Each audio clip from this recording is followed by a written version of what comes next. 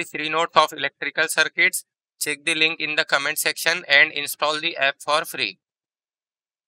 Superposition theorem. Question. Find current through 8 ohm resistance.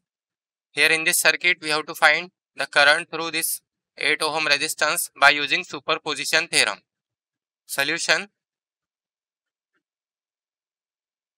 First of all, here we can see there are two sources. This is a voltage source and this is also a voltage source. So first of all, we will consider this 20 volt voltage source and we will find the value of I prime. Then we will consider this voltage source and we will find the value of I double prime. And after that, we will see the direction of current and according to we will do the mathematics. So consider 20 volt voltage source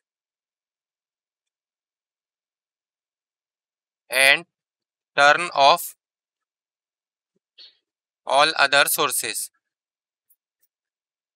All other sources. Now when we turn off the voltage source so this will be a short circuit and this current will be I prime. Now to find the value of this I prime we need to find the value of this current. Let's say this is current total current I. Now here we can see this 10 ohm and this 8 ohm are connected in parallel. So we can write, we will copy this and here we can write 8 ohm parallel with 10 ohm. So this will be 8 into 10 divided by 8 plus 10. If we solve this, so we get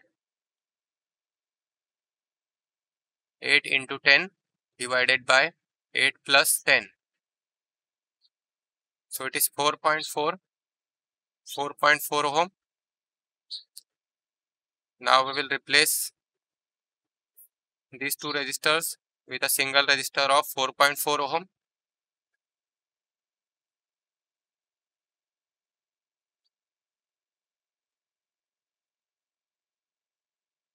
Four point four ohm. Now we can easily find the value of current I. So I is equal to V upon R. The value of voltage is 20 and the value of resistance is 6 plus 4.4. So this will be 20 divided by 6 plus 4.4. So it is 1.923. 1.923 ampere is the value of current I. But we have to find the value of this I prime. So again let's copy this circuit from here. And now we will apply current division rule. Apply current division rule. Like current division rule. So this will be I prime is equal to this current. This current value is 1.923. 1.923 multiplied by opposite branch resistance or parallel branch resistance. The parallel branch to this is 10 ohm. So 10 ohm divided by 10 plus 8. If we solve this, so we get I prime is equal to 1.923 multiplied by 10 divided by 10 plus 8. So it is 1.06. 1.06 ampere is the value of I prime and this direction is downward. So here we will give arrow downward. Now next we have to find by using this voltage source by considering 12 volt voltage source. So again let's copy this circuit from here and consider 12 volt voltage source and turn off all other sources. All other sources. Now when we turn off all other sources that means we are turning off this 20 volt voltage source. So again when we turn off a voltage source that time it will be short circuited. And now this time this current will be I double prime. And let's say this current is I1 let's say.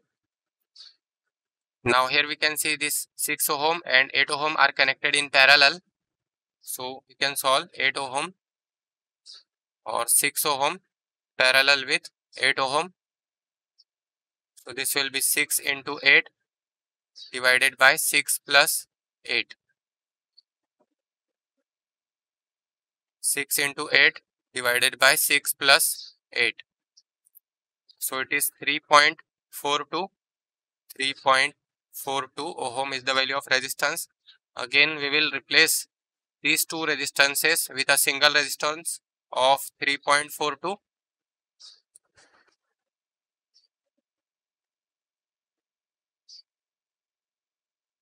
we will remove this current and this resistance value will be changed.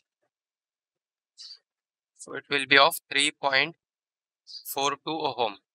Now we can easily find the value of this current i1 so i1 is equal to voltage that is 12 divided by resistance 10 plus 10 plus 3.42 so therefore current i1 is equal to 12 divided by 10 plus 3.42. So it is 0 0.894. 0 0.894 ampere is the value of current I1. But we have to find the value of I double prime. So again let's copy this circuit from here and let's apply current division rule.